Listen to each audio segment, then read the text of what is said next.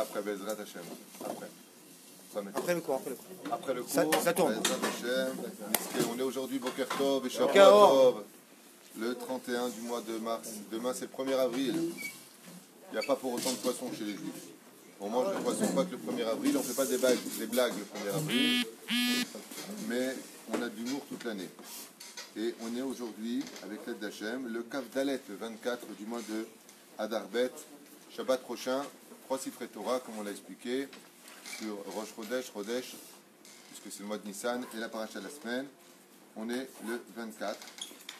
Alors, euh, Shnia Achat. Euh, Abba Amir Ayakar, on te remercie. Shmuel, voilà. El Kaïm, ce chiour est pour toi, pour ta réussite, pour toute ta famille, tout ce que tu désires. Bezrat Hashem, beaucoup de bonheur. Chaim Tovim ou. Euh, une grande refoua shlama vatzlacha pour David Chaim Ben Noah. שהקדוש ברוך הוא ימלא כל משאלות ליבו לעבודתו יתברך בעזרת השם בריא ושם מכל הבחינות. משפחת נאום היקרה. ובכן, אה, יוהן ללו, תודה רבה aussi pour ton soutien fréquent.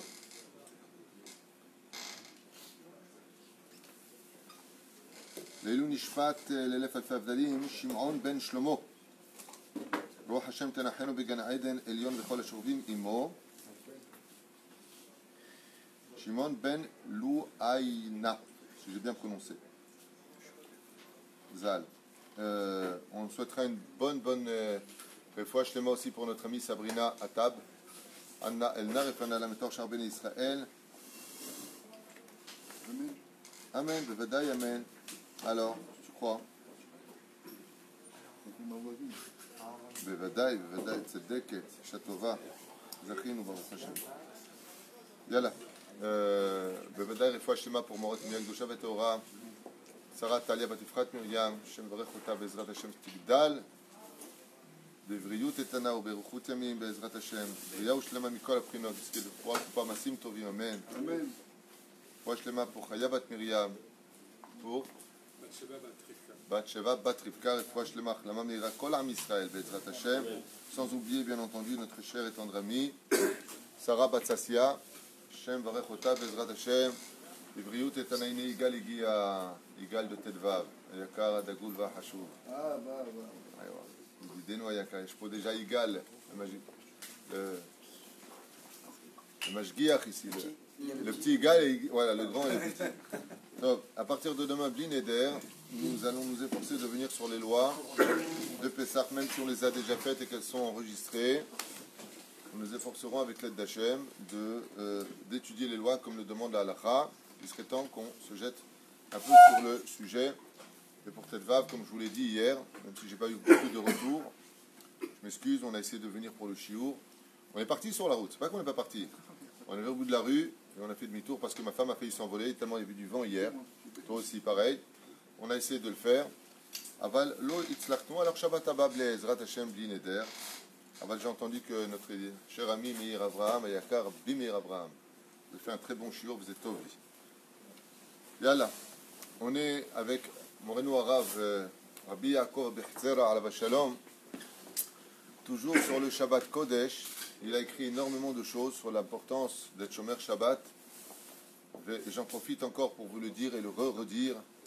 Pour ceux, en tout cas, qui euh, me suivent, ceux qui me font confiance, de voter pour la Torah, puisque nous sommes dans un très très grand tournant aujourd'hui, 5 ans. Nous sommes à la veille des Prirot, le 9 avril. Et comme les gens ne l'ont pas encore compris, euh, il y a des gens qui ne comprennent pas que de parler du vote, c'est parler de Torah, puisqu'on parle de l'avenir de nos écoles, on parle de l'avenir du Shabbat en Israël, on va parler de l'avenir de la cacheroute, puisque tous ces postes ministériels vont être occupés ou par des gens qui sont pour la Torah ou des gens qui sont peut-être contre la Torah. Et il est de notre devoir de comprendre que même s'il n'y est pas marqué que c'est une mitzvah d'aller voter forcément, le vote engendrera ou des mitzvot ou des averot. Donc nous avons le devoir d'aller donner notre force et notre voix pour soutenir la Torah. Et la reine, le seul parti que je vois aujourd'hui capable de défendre la Torah Sfarad particulièrement, puisque Guimel, grâce à Dieu, eux ils s'en sortent bien. Les Ashkenazim religieux vont voter Guimel en général.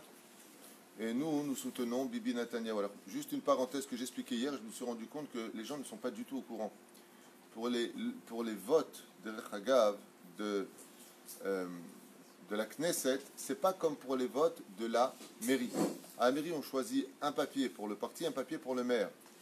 Pour les votes du gouvernement, du Premier ministre, qui sera le Premier ministre? Il n'y a pas le parti et le ministre. Ça, c'est vieux, ça. c'est il y a longtemps que c'était comme ça. Ça fait déjà deux mandats que c'est plus comme ça. On a un seul papier à mettre.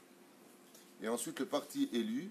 Donc, j'en profite pour en parler parce que tout le monde me demande d'en parler. Tous les gens me disent tout expliquer parce qu'on ne comprend rien. Alors, justement, je vous en parle maintenant parce qu'il s'agit d'Ezrat Hashem. Espérons qu'on n'aura pas besoin de voter, qu'il y aura la Géoula avant, que le Machar sera là. Aval, on vote pour le parti uniquement et le parti qui sera, le plus mandaté mettra son leader de son parti en tête. Ensuite, il devra faire une coalition qui vont créer le gouvernement. Le majoritaire peut passer, ce qui fait qu'on pourra avoir, Hazve Shalom, comme ça s'est passé à l'époque de Livni, un parti de gauche élu, mais Bassov qui n'arrive pas à créer son gouvernement, c'est la droite qui passe parce qu'eux l'ont créé. Il n'y a plus de Premier ministre. Donc, tu ne peux pas voter, par exemple, le parti chasse et Premier ministre Bibi Netanyahu. Tu ne peux pas faire ça. Sachez-le, tu ne peux voter que le parti. Et le parti mettra ses voix au service de ce que fait le parti chasse, je représente, qui, avec qui je travaille plutôt, je ne le représente pas, mais je travaille avec eux, euh, parce qu'ils défendent la Torah Sfarad et ils défendront non pas la tradition juive, mais les valeurs de notre Torah dans notre pays. Et toutes nos voix iront soutenir Bibi Netanyahu. Celui qui veut soutenir donc Bibi en même temps la Torah en Israël doit voter chasse et chasse mettra à son service les voix pour Bibi comme cet accord est déjà mentionné dans toutes les publications. Voilà, donc comme ça les choses sont claires. Celui qui me suit en tout cas mettra son bulletin pour chasse, puisque je fais partie, Bezrat Hashem, de cette coalition avec l'aide d'Hachem. Et même si je ne suis pas, je l'ai dit à voix haute et je n'ai pas honte de le dire, chassnik, je ne suis pas un homme de chasse personnellement, je suis un homme de Torah. Un homme de Torah hein, qui a vérifié un petit peu ce qui se passait. Et pour la réforme du mouvement chasse, j'espère que Bezrat Hashem, on y arrivera pour euh, que d'ici 5 ans, tout le monde soit fier de ce mouvement créé par le Rav Shach et tenu pendant plus de 20 ans par Maran, le Rav Ovadia Yosef, dans ce domaine. Ken Alors donc celui qui est euh, religieux séfarade, qui veut que Bibi passe en Premier ministre, il vote pour chasse pour que... Euh, Absolument. pour Bibi. Celui qui est séfarade, qui veut que Bibi comme nous, nous, moi je veux que ce soit Bibi qui passe, le Vada, il n'y a même pas de question là-dessus. Donc, d'abord il vote pour chasse, nous on va prendre les mesures nécessaires pour que Bezrat le respect des lois se vive en Israël, non pas comme des fanatiques, mais parce qu'on est venu pour vivre notre Torah, on est juif et il faut être fier de cela. On est venu sur cette terre pour y vivre la Torah, pour être Shomer Shabbat. Voilà, on est Rabbi Yaakov Qui l'aurait voté d'après vous? Je vous pose une question, Rabbi Yaakov, qui l'aurait voté? Baba Salé l'aurait voté qui? Tous les Gdolim, on fait des vidéos, tous les Gdolim, tous ceux que vous aimez, que ce soit le Rabbi Yaakov Citruk, que ce soit le Rav Ben Chitrit, le Rav David Pinto, qui vous voulez? Qui vous voulez? Tout le monde vous demande de voter chasse. Lama. Parce que c'est notre parti. Sinon, on ne fait pas pour eux. Alors, qui va le faire? Vous comprenez? Chasse est de droite. Chasse est sioniste contre toute cette euh, tic qui a été faite contre nous. Il y a une erreur, celle d'Oslo. L'erreur est humaine. Et tout le monde le regrette aujourd'hui. Mais euh, les réformes qui ont été prises ont été prises. Et c'est le seul parti aujourd'hui qui veut vraiment aider à l'ALIA française. Alors, peu importe que ce soit par intérêt ou pas, on s'en fiche. Ce qui compte, c'est le résultat. Vous comprenez? La Bezrat Hashem. En tout cas, celui qui me fait confiance, moi je ne suis pas un homme de politique, sachez-le. Je ne connais pas grand-chose, quoique j'ai du répondant. Aval quoi qu'il advienne, celui qui se dit euh, me faire confiance mettra son bulletin pour chasse et chasse donnera sa voix pour Bibi Netanyahu. Ne commettez pas l'erreur de, de donner votre voix pour Bibi directement, parce que Bibi, dans sa façon de travailler, travaille bien par rapport à tous les obstacles mesquines qu'on lui met sur la route, mais il ne défendra pas la valeur de la Torah, la valeur de la tradition, mais pas de la Torah. Celui qui veut un pays, Bezrat Hashem, qui respire la Géoula, comme le dit la Gemara, Rabbi Shimon Bar Yochai. C'est quelque chose qui me démonte un peu parce que, comme je le dis, les gauchistes donnent leur voix à qui? Bah, À la gauche. Les Arabes aux Arabes. Les traditionalistes, ouais. les Kippot ils ont leur parti. Et nous, les Sfaradim, qui sommes les gardiens de la Torah, qui, qui, voulons cette Torah-là, euh, si on ne donne pas notre voix à celui qui nous représente, alors qu'est-ce qu'on a fait nos vies? Alors qu'on aime ou qu'on n'aime pas, qu'on aime le personnage ou qu'on n'aime pas le personnage, là n'est pas la question. La question est de savoir est-ce que je vote Torah ou pas? Zot De toute façon, j'ai dit que j'en ferai une vidéo. J'en ferai une vidéo, j'expliquerai en long et en large. Là, c'était juste parce que vous me l'avez demandé. Donc c'est à vous que je me suis adressé, puisque vous m'avez demandé d'en re-reparler. Et donc ne commettez pas l'erreur de croire que vous avez deux bulletins à mettre. Il y a un seul bulletin à mettre. On vote pour le parti. Et en ce qui me concerne, comme j'en ai parlé avec le Rav Zuckerman de Jérusalem, qui m'a dit qu'il fallait soutenir lui-même pour les Sfaradim le mouvement chasse chez lui à la maison. Je vais mettre aussi ma J'espère que euh, on mettra nos convictions de côté. Et comme on l'a vu avec Nadav et qui n'ont pas écouté le Rav, qui ont dit devant le Rav, l'Okedai de l'Istot Minaderech. Celui qui en tout cas se représente Sfarad et voudrait un pays qui respire un peu plus le respect de la Torah, Zéakivud. Voilà. Omer Moreno Arabe. Mikol Sheken Shelo Tavu Lide Kaas Apgam Agadol Beyoter. Omer Rabbi Yaakov Abu Hatzera, Alava Shalom, Zchutot Tagan Alenu. Vous savez qui c'est Rabbi Yaakov celui qu'on allait voir quand on avait des problèmes de santé, des problèmes d'argent, des problèmes de. Hein? On sait aller voir les rabbinim, comme le Rav David Abu Hatzera à Nahariya. C'est le petit petit-fils de Rabbi Yaakov Abu Hatzera. Lui, il vote qui? Il vote chasse. Ah non, non, non, non, Mais quand tu as des problèmes, tu sais aller le voir. Alors je comprends pas. Il est pas goum ou il est pas pas goum, Shalom? Il est bien ou il est pas bien? C'est ça qui me démonte. Les gens, ils font le supermarché de leurs courses. Ou tu as confiance au rabbinim complètement, ou tu pas confiance du tout. Et dans ce cas-là, qu'est-ce que tu vas aller voir? Vous voyez ce que je veux dire? Il y en a qui vont au cotel. Ça. Va prier Hachem. Hachem, il te dit fais Torah, Mzot, Tovim, et tu auras de bonnes choses. Hachem, Omer Rabbi. Il y a un begam, une chose qui détruit toute la valeur du Shabbat, c'est la colère pendant Shabbat. Il est strictement interdit de se mettre en colère. Et vous allez voir que le Yetzerara va tout faire, tout, tout, tout, tout, tout, tout, pour que tu aies un abruti qui vient t'annoncer une mauvaise nouvelle. Il y a des gens comme ça, ils adorent rentrer à la synagogue, ils annoncent Il est mort Comme ils ne brillent pas de la semaine, dès qu'ils ont un truc qui vont les rendre intéressants, ils vont se jeter à annoncer. Tu es au courant Qu'est-ce qu'il y a? Il est mort. Et l'autre en plein Shabbat, il se met à pleurer, ou il est mal, ou il se met en colère. Assour. Déjà, de donner des mauvaises nouvelles, c'est pas quelque chose qu'on doit courir faire. Aval assour be'echlet d'annoncer des mauvaises nouvelles pendant Shabbat. Assour. Assour. Ou alors tu as le fils qui vient pas. Qui douche, qui douche, qui douche, qui douche, qui douche. Et là, tu commences à juger. De toute façon, tu te comportes comme un gars, comme ça. Au nom de qui tu travailles, Habibi, une fois de plus? Au nom de qui tu travailles Si tu travailles pour Dieu, Dieu il a dit tu donnes que de la joie, tu donnes pas de la colère. Tu donnes que de la joie. Mais si tu travailles pour toi et que tu prends pour Moïse, tu as donné la Torah, mon cher Rabbeinu, alors évident que tu vas te mettre en colère. Le problème qu'il y a, c'est qu'on ne connaît pas nos places. Des fois, au nom de Dieu, on fait beaucoup plus de dégâts que si on avait travaillé pour Dieu réellement. Parce que si tu travailles pour Hachem, tu ne viens pas pour juger, tu viens pour aider. Si ton fils n'est pas venu au kidouche que tu as fait, tu reprépares un verre et quand il viendra, parce qu'il a estimé que maintenant il veut venir, eh ben tu dis voilà mon fils, je t'ai préparé le kidouche. Il veut le faire, il le fait, il ne veut pas le faire, c'est entre lui et Dieu. Ça c'est son. Hein? Ceux qui parlent à la bête Ceux qui parlent à la bête à Knesset, que c'est un très très grand interdit. J'ai beau expliquer en long et en large. Je vais y arriver, j'ai entendu la question. Tu as prié ici Shabbat? Oui. Tu as vu comment c'était Shabbat? C'est un kiff.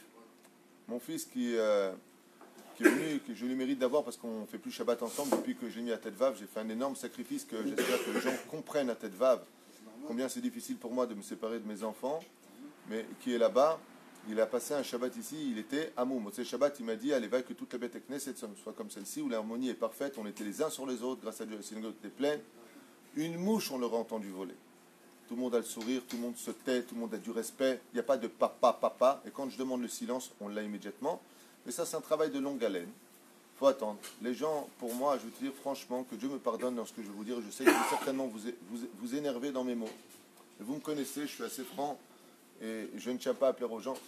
Pour moi, j'estime que des gens qui n'arrivent pas à se taire dans une bête à Knesset quand on le demande de se taire ont un problème psychiatrique. Est-ce que je suis clair? Hein. C'est de la psychiatrie. Des fois, je me retourne, même des fois, dans certaines bêtes Knesset, où ça parle pendant la Khazara, je dis à la personne, tais-toi. Et le mec, il a, il continue à parler. C'est un problème psychiatrique. C'est de la psychiatrie. As, un bug dans la tête et, et j'arrive pas à comprendre. J'arrive pas à comprendre. Moi, je sais que euh, de tout temps, quand on me demandait de me taire, je me tais. Quand, par exemple, je suis avec euh, une situation à marquer éteignez vos portables, j'éteins mon portable. Il y a toujours des abrutis qui rentrent, qui voient leur portable, on leur demande d'éteindre les portables et t'entends. Mais attends, un problème circli. C'est un problème Bémet qui est sérieux et c'est du pur rare où je dirais peut-être que si ce n'est pas un problème psychiatrique, ce sont encore des enfants. Ou des gens qui ont trop de gava et c'est dommage. Effectivement, je le dis, je le répète à voix haute, le Shulchan a fixé ce que nous a dit le prophète. Tout celui qui parle dans une bête à Knesset, en lo, chelek be'eloke Israël. Nekuda, À un tel point que le prophète nous dit Qu'est-ce que tu es venu parler dans ma synagogue Si c'est pour cela, je n'ai pas besoin de toi ici? Mais tu as beau faire des panneaux dans toutes les synagogues, tu vois des panneaux, même des slogans. Si tu es venu ici pour parler, alors où iras-tu pour prier? Et ce sont ces mêmes gens souvent qui les mettent, et le pire, ce sont les gabaïm qui parlent. Ceux qui doivent donner l'exemple, ils parlent. Alors les fachot, ils doivent parler. Ou s'ils ne doivent pas parler, il y a des moments précis pour cela. Où là, il est strictement interdit de parler. C'est pendant la Chazara. On avait vu le Ben Ishraï qui dit que la Chazara est plus importante, plus importante que la Hamida elle-même puisque la Hamida ne montre qu'à travers la Chazara du Shaliar Tzibour, le Kaddish et surtout la lecture de la Torah. Mais les gens, tu les vois parler avec les enfants, tu les vois. Et attention, tu leur dis de se taire. Ils te regardent s'il sort dehors, c'est un homme. Birkat Kohanim. De petit, Tzafzefi. Le Rav Moutsafi, pas en mon nom. Le Rav Moutsafi, je dis bien le Rav Moutsafi. À quand je vivais à Jérusalem, il disait mieux vaut ne pas aller à la synagogue que de savoir que tu vas parler à la Beth Knesset. Lama, Rav Moutsafi, moi, moi j'aurais jamais dit une chose pareille. Lui, il le disait. Mon Rav, pareil, le Rav Garbian, ou comme moi par exemple, quand je suis ici ou à Tête Vave, quand il y a des gens qui nouveaux qui parlent et qui parlent et qui parlent, j'arrête net, je leur dis en face, Rabota, vous avez 300 mètres à droite et 600 mètres à gauche de trottoir pour aller parler. Ici, on ne parle pas. Les Rav ne doivent pas chercher à plaire à leur tzibour, et des fois, quand je parle avec des rabbinim ça parle tout le temps, ouais, mais si tu es trop dur avec eux, après ils partent. Euh, on a peur. Prends un minyan sérieux. Et comme on dit, Oev et Tabriot, les gens ne comprennent pas ça. Tu dois aimer les juifs. Aval Katouvma. On korvan Torah. Et tu dois les rapprocher de la Torah. Tu ne dois pas faire la descente de la Torah pour leurs beaux yeux. Il y a une grande différence, faut savoir lire jusqu'au bout les Mishnayot. Et Tabriot, tu dois aimer chaque juif, chaque humain. Um korvan Torah. Et tu les approches de la Torah. Donc quand ils viennent à la Beth Knesset, c'est pas pour qu'on aille dans le Zerem. Parce que sinon tu deviens fou. Chacun aujourd'hui de cette génération se prend pour un rab, chacun se prend pour le responsable, chacun se prend pour le président, chacun se prend, chacun, chacun, chacun. Chacun veut tout. Alors que la meilleure façon de vivre, c'est de rester à sa place, d'être humble et t'inquiète pas, si tu dois monter, ce sera décidé à Rosh tu monteras tout seul. Moi, j'ai rien demandé dans ce que j'ai fait dans ma vie. Je n'ai jamais fait en sorte d'avoir les choses, que ce soit les postes à l'Amérique que j'ai, d'avoir été appelé au gouvernement pour certaines choses. J'ai rien demandé. On est venu me chercher. Parce que quand c'est ton heure, Dieu n'a pas besoin que tu fasses coucou, je suis là. Mais les gens ont tel mal de vivre intérieur qu'ils ont besoin d'exister à travers euh, j'existe, je vais te charrier, je vais, exister, euh, attention, je suis là. C'est de la psychiatrie. C'est un mal de vivre. Parce que quand tu vas bien, tu n'as pas besoin, quand on t'écoute. Comment on était enfant On était enfant, on disait, faut pas parler. On ne parlait pas, excusez-moi. Là où ça me fait de la peine, c'est que quand tu vas dans les mairies en France, dans les bibliothèques, ils ont fait un sol pour que même le bruit, quand tu rentres, tu n'entends pas. Et dès qu'il y a quelqu'un qui élève la bande, il fait chut. Et qu'est-ce que font les gens? Excusez-moi. Pour Zebet Hachem. Zebet Hachem. Et sachez une chose, je vous le dis à voix haute. Vous pouvez changer de chaîne, ça va pas vous plaire. Il n'y a pas plus gaftan, il n'y a pas une plus grande gaava au monde que quand le Rav demande de se taire et que les gens continuent à parler. C'est une gava d'une gassoutroir que je ne comprendrai jamais. Jamais. C'est de la gava. Ce qui parle dans la bête aknes, c'est d'alecha. C'est de l'orgueil à l'état pur. Demande de te taire. Alors, le gabaï, des fois, dans sa situation, il ne doit pas parler. Mais comme il va donner un sidour, il va dire non, cette place est prise. C'est parce que les gabaïm avant, ils priaient avant les autres. Mais quand ils sont dans la prière, ils n'ont pas le droit de parler aussi. Aujourd'hui, c'est kol de ces Chacun, il va jouer avec la Torah. Eh, je suis plus âgé que toi. Eh, je suis Habibi, fais-moi plaisir. Si vous voulez écouter quelque chose de grandiose, allez, la phrase du shiur d'aujourd'hui. Quand tu viens dans une bête à Knesset, prends ta place et ferme-la. tu rendras service à toute l'humanité. Je ne peux pas être plus clair que ça. Chef Bécheket, tous les gdolim. Moi, j'ai vécu pendant trois ans parmi des Mekoubanim. Des gens qui connaissaient toute la Torah sur le bout des doigts. Ils se comportaient comme des enfants de deux ans dans une synagogue. Ils prenaient leur place, prenaient leur sidourim. Quand on les appelait seulement, ils levaient la tête avec un sourire. Ken betach, bechavod. Anav Aujourd'hui, tu as des cacahuètes qui viennent et qui prennent pour des ténors. Sheket. Chef Bécheket. Tu as beau leur dire tais-toi, et tais-toi. Et ils continuent. Euh, psychiatrique. Je ne sais pas. Zekacha. dirait que ce n'est pas si important que ça pour eux, que le Yetzerara, il est trop fort pour eux. Alors dans ce cas, qu'est-ce qu'on fait? Je vais des fois parler. Ah Roger, comment ça va le travail? Pendant Shabbat à la synagogue. Ou alors il parle. Il y en a qui vont même te parler de, de, de, de Torah. Maasek qui s'est passé euh, en 1985 à la synagogue des Tournelles. Il y avait une personne là-bas au Tournelles. À l'époque, c'était le Rav Roger Twitou, qui vit aujourd'hui à Jérusalem, Aujourd'hui, c'est le Rav Dideno Ayakar, le Rav Toledano. Marciano, Marciano, autant pour moi. Le Rav Marciano Ayakar. Euh, cette personne-là, qui était un ancien rabbin d'Algérie, de ce que j'avais compris, moi j'étais jeune à l'époque, ne cessait de parler pendant le Kaddish, le Sefer Torah, il, il, ne cessait pas de parler, pardon. Il ne cessait pas de parler. Un jour, j'étais le voir et je lui ai dit, je comprends pas, on n'arrête pas de vous dire de vous taire. Pourquoi vous ne vous taisez pas? Je veux apprendre de vous, c'est un monsieur assez âgé quand même, il va avoir dans les 70 ans. Pourquoi vous ne vous taisez pas? Et qu'est-ce qu'il m'a sorti? Il m'a dit, je ne parle que de Torah, moi, jeune homme. Très orgueilleux comme ça. Moi, je ne parle que de Torah. Je lui ai dit, d'accord, mais si ça dérange les autres, je ne savais même pas que c'était interdit de parler pendant le Sefer Torah, même de Torah. Ouais. Le Shabbat d'après, Shamanouch ou Niftar. Bet Keflev. Pourquoi? Parce que le Rav lui a demandé de se taire. À l'époque, le Rav Toutou, il a fait nous, s'il vous plaît, un peu de silence. C'est vraiment agaçant. Il a fait un geste, il euh, je ce que j'ai à dire. Met Bet Keflev. Met Bet Keflev. Lama Mdaber. Zora Kadosh. Mais malheureusement, on en parle, on en reparle, on en re-reparle. À chaque fois que je vais dans une bête Knesset, je le dis à tous mes shiurim. Rabotai, combien il est important de se taire.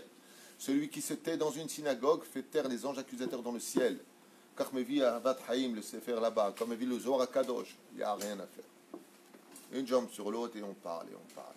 Mais il y a mieux que ça aujourd'hui, grâce à Dieu. Ça y est. Il y a le téléphone. Tu as carrément des gens qui sont au téléphone dans la synagogue pendant la prière. Pas le Shabbat, hein, bien sûr. Téléphone, profchi. Sors tu as tout le trottoir pour aller parler. Non, Davka la On referme cette parenthèse parce qu'on voudrait quand même faire un chiour. Mais je vais te dire une chose. Ouvre bien grand tes oreilles. Et ce message, il va là pour tout le monde. Si vous allez dans des synagogues où le silence ne cesse de ne pas se faire respecter, ça veut dire que les gens ne cessent pardon, de parler, changer de synagogue. Nekuda. Ou changer de Beth Pourquoi?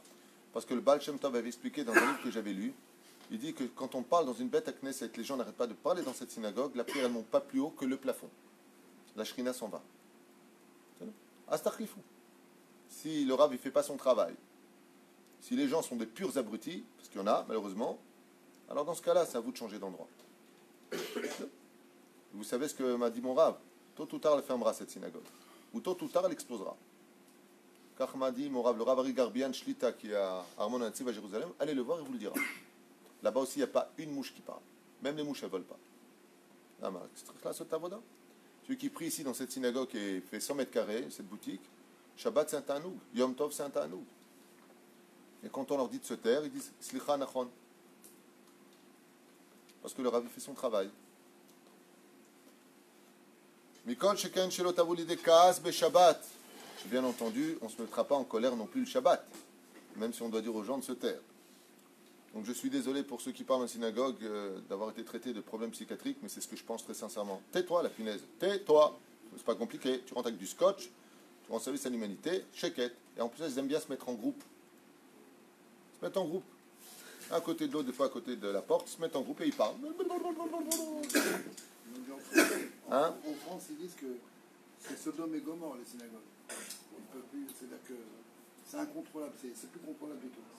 Hachem Erachem. Hachem Top, je ne suis pas le Mashiach et je ne peux pas résoudre les problèmes de tout le monde. Ce que je dis, c'est par contre que celui qui veut m'écouter, si chacun faisait ce qu'il avait à faire, eh bien peut-être qu'il finirait par donner l'exemple et puis qu'il y arrive. Le problème en France, c'est que des fois, sans salir mes, mes confrères, mais il faudrait que peut-être que les dirigeants eux-mêmes soient l'exemple à suivre. Parce que moi, ça m'est arrivé en France, je dis bien, ça m'est arrivé en France de rentrer dans la synagogue et de voir le rabbin lui-même parler. Alors, euh, c'est pas un exemple pour les autres non plus. La reine Bezrat Hashem, mais autre Hachouv, de rentrer dans une bête à Knesset et de rester à sa place, et de temps en temps, Bezrat Hashem, de demander un peu le silence Be'adinout. Pourquoi? Parce qu'on est dans un monde tellement orgueilleux que de dire à une personne de se taire dans une synagogue, ça peut se finir avec euh, des coups de poing. Tellement on est, euh, on est à la masse. Quoi. Mais c'est au d'expliquer les choses en, long et en large. Il arrive que la il y en a qui à à côté de soi. C'est dérangeant. Prier à voix haute, alors dans ce cas-là, on demande à l'autre de se taire. Moi, ça m'arrive des fois de temps en temps ici, dans cette bête à Knesset, d'entendre des gens qui prient à voix haute ou qui prient, euh, qui lisent avec le chazan. Dans ce cas-là, je leur fais un signe en disant Excuse-moi, mais tu nous empêches d'écouter, et puis euh, ça se résout très très vite. Ça faut, faut, parler. Et après, il faut frapper. C'est une blague. Seudat, Seudot à Shabbat, la Seuda de Shabbat, Sarich Adam, l'Isaïr, Bishmiratam, Arbe, le Kaiman, Kol, Achad, Beita. Après qu'on ait parlé du chant, selon Rabbi Yaakov Bohatzera, qui est le Icar de Shabbat, maintenant il nous parle des Seudot. Et il nous dit combien il est important de respecter les trois Seudot de Shabbat. Et il dit Rabbi Yaakov Bohatzera que quand tu regardes dans les Gemarot, dans le Zohar, dans les Midrashim, tu constateras combien ils ont versé d'encre pour parler des Seudot et de leur importance de Shabbat. Ou biprat à Rabbi Shimon Bar Yochai. Et le premier de tous dit Rabbi Yaakov, n'est autre que Rabbi Shimon Bar Yochai, qui a dit quoi dans Zohar Kadosh, Zohar Chadash, à la page Resh Pechet Amut Bet, qui dit De Amar, as de Adena Alai, de l'Obitel Shum Seuda Me'em Yamav, que la seule chose dont s'est orgueilli Rabbi Shimon Bar Yochai, 13 ans dans la grotte, 12 ans plus 1 an, Yen Shabbat, Lamed Gimel, Amar Rabbi Shimon Bar Yochai, toute sa vie durant qui a étudié la Torah le jour et la nuit, ses yeux n'ont pas caressé le, sommeil.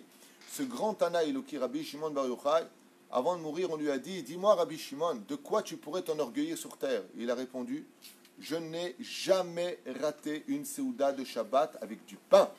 Avec du pain. Ni Seouda Rishona, ni Seouda Shnia, ni Seouda Shlishit. On lui a dit C'est tout Quoi De tout ce que tu as fait, c'est la seule chose dont tu t'enorgueillis? Il a dit si les gens ils savaient l'importance de faire les trois sédotes avec du pain, alors eux aussi finiraient par lever les yeux vers le ciel en disant Todarabah Hashem de m'avoir donné ce tel mérite. Alors les gens vont te répondre Je peux pas, je peux pas. C'est normal, je t'explique. Qui t'a demandé de manger deux plats Mange léger. Mange léger, soudachnia. Mange plus, un peu moins sur ton hiver. Tu manges. De quoi laisser pour Seoudash lichit Non, on se bourre et on se bourre, et on se bourre, après on dit, ne peut pas. Le qui t'a dit, on peut pas? Mange moins, comme ça tu mangeras mieux. Comme c'est marqué, il y a un verset qui le dit ça. Comment c'est marqué? Chacham, Aenav Berosho. Le Chacham, il a les yeux dans la tête. Euh, comment ça les yeux dans la tête? Les yeux ils sont dans l'orifice ici. Il dit non. Chacham, qu'est-ce que c'est un Chacham? C'est celui qui a deux yeux ici et un là. Et pourquoi il en a un là? C'est un cyclope. Il dit non. Le Chacham, quand il mange, il pense aussi avec sa tête et il regarde que plus tard il a encore une Seouda à faire. Donc il s'arrête. Chacham, Aïnav, Berocho, pense avant de faire. Mais si tu viens, tu manges le poisson, le couscous, le bidule, tu finis avec les gâteaux, et après, 3-4 heures après, tu as Seouda Shlichit, c'est sûr que tu vas pas manger. Donc le gâteau, tu ne manges pas. Tu manges un tout petit bout. Donc le couscous, tu ne reprends pas tu manges un peu moins. Pourquoi? Parce que j'ai encore Souda Shishit à faire. Et ainsi donc, tu pourras le faire. C'est ce que faisait Rabbi Shimon Bar Yochai. On a posé la question du à Khadash. De quoi tu peux t'enorgueillir sur terre de tout ce que tu as fait? Il a dit Tu veux savoir? J'ai jamais raté une Seouda. Ni si je me suis fâché, pas fâché. Il y a des gens qui se fâchent avec leur femme. Ils rentrent dans la chambre, ils ne mangent pas. Ils ne mangent pas. Rabbi Shimon Bar Yochai dit Rien ne doit entraver le fait que tu dois t'asseoir et faire un motzilachem. Arrête, c'est ton birkat Sauf si, bien entendu, tu as nous, problème d'estomac, tu as des problèmes de santé, on ne parle pas de ça. Ah bah, celui qui peut et qui ne fait pas, raval. Mieux vaut manger du pain que de manger le poisson ou la viande. Et ils vont te dire, attends, mais moi si je mange le pain, après je ne peux pas manger le reste. Mange le pain, pourquoi? Parce que ni le poisson ni la viande te, feront faire le birkat Amazon. Le birkat Amazon de Shabbat, mot par mot, avec de bonnes kavanas, te donne la bracha pour tout ce que tu vas entreprendre la semaine. Amazon. Rien que d'entendre ça, je vous dis franchement, à la Kedaï de venir et d'écouter. Ne jamais rater Souda Shlichit. Des fois, on sort le pain à Souda Shlichit, les gens, ils font non, c'est un petit gâteau. Chaval, chaval, chaval Prends ton pain, mange un peu de poisson avec, surtout le poisson de Souda Shlichit, il est particulier. Mange du pain un peu. Quoi, t'es pas obligé de manger plus que Kabetza? 54 grammes de pain, ça te fait ça.